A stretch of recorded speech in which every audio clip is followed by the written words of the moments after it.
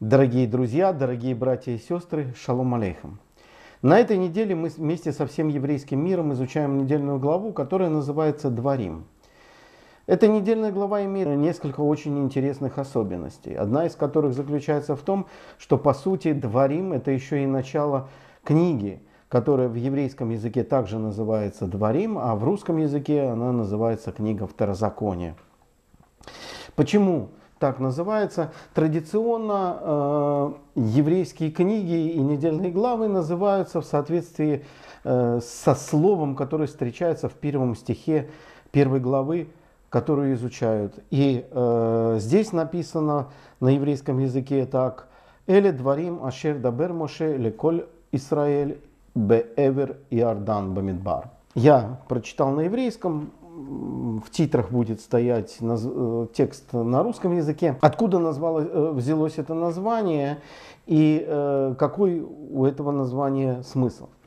Дело в том, что слово «дворим» это буквально переводятся слова. И это можно видеть из русского перевода. Однако мы должны понимать, что это были не просто слова, которые Машера Бейну Э, сказал еврейскому народу. Это была некая попытка, или как, например, Рафаэль Гирш пишет, э, что Моисей дает инструкцию для еврейского народа перед тем, как они войдут в землю обетованную.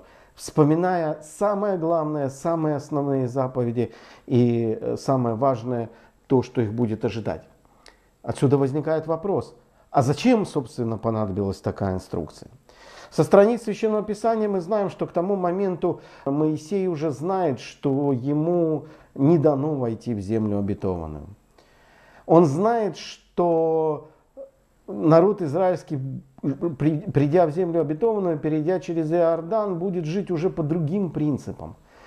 У них уже не будет тех видимых знаков, которые сопровождали их в пустыне, не будет огненного столба, не будет облака колодца и так дальше, и так дальше. И он хочет помочь им вот с помощью этой инструкции указать им, как они должны жить в землю обетованную. И не зря это э, название в русском языке, которое, собственно, перешло из греческого, из перевода 70 септуагенты, так называемой.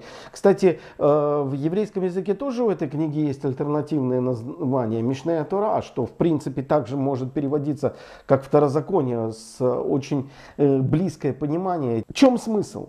На самом деле, если мы с вами посмотрим на весь путь еврейского народа в пустыне, начиная, наверное, с того момента, как э, еврейский народ не вошел в землю обетованную. Да? Хотя, в общем, эта проблема была и раньше, но это просто самый яркий пример, когда пришли 12 соглядатаев, которые рассказали о том, какие проблемы могут ожидать еврейский народ э, при входе в землю обетованную, и народ испугался и начал роптать, и начал предъявлять претензии к Моисею, после чего Господь сказал, все, вы будете 40 лет ходить по пустыне, пока вот старшее это э, поколение ропотников не помрет. Только вот младшие и те, кто родятся в пустыне, они войдут в землю обетованную. Собственно говоря, так и произошло. И вот сейчас мы наблюдаем вот эту картину, что это конец пути. И на протяжении всего периода э, этого путешествия народ израильский очень часто проявлял одну и ту же проблему, а именно неверие.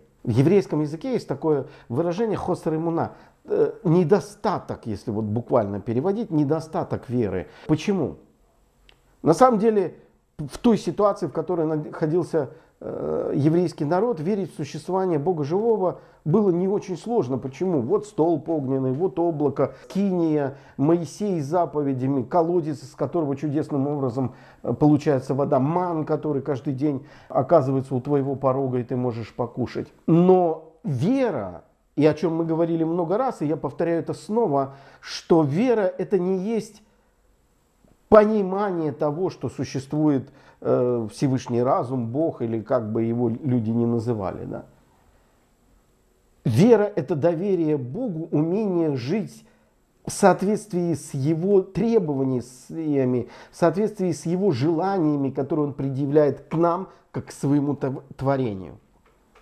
И в первую очередь, безусловно, эти требования отражены в Торат Маше в Пятикнижии Моисееву. Теперь же, когда народу израильскому предстоит жить в земле обетованной без видимых знаков. Моисей понимает, что они столкнутся с проблемой, как жить верой, как доверять Богу. И давая им инструкции, он акцентирует внимание на вещах, которые должны, по его мнению, во всяком случае, точно должны помочь еврейскому народу жить в земле обетованной. Посему первая особенность этой недельной главы, да и книги Второзакония в целом, как раз заключается в том, что э, Моисей таким образом, он понимает, наши раввины подсчитали, что ему осталось жить 37 дней, э, он понимает, что через некоторое время он покинет народ свой и беспокоится о нем, заботится о нем, как будет этот народ там жить. Еще одна особенность этой недельной главы заключается в том,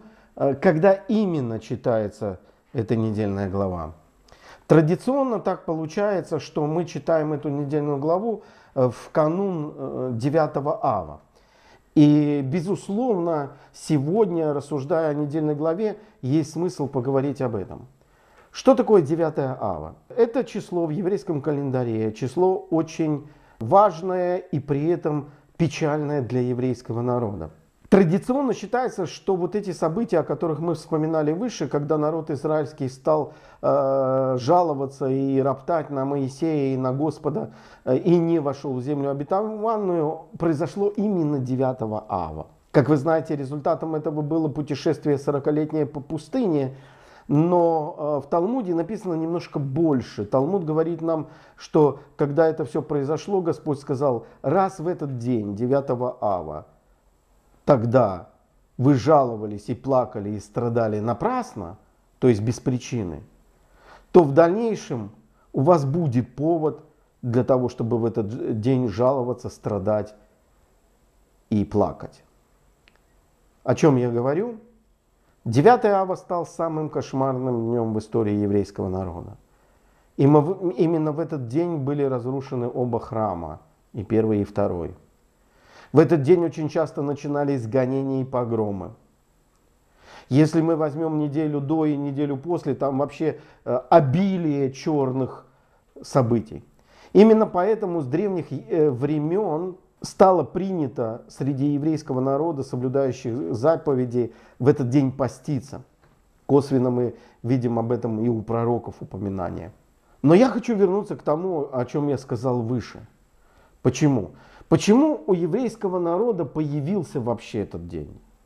Причина, то, о чем я говорил, хосер имуна, недостаток веры.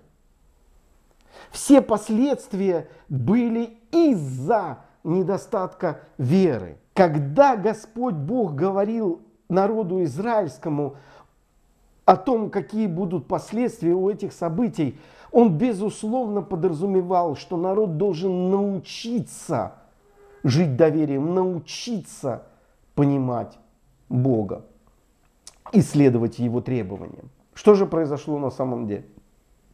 К сожалению, мы с вами знаем, что недоверие народ израильский проявлял еще, еще много и много раз.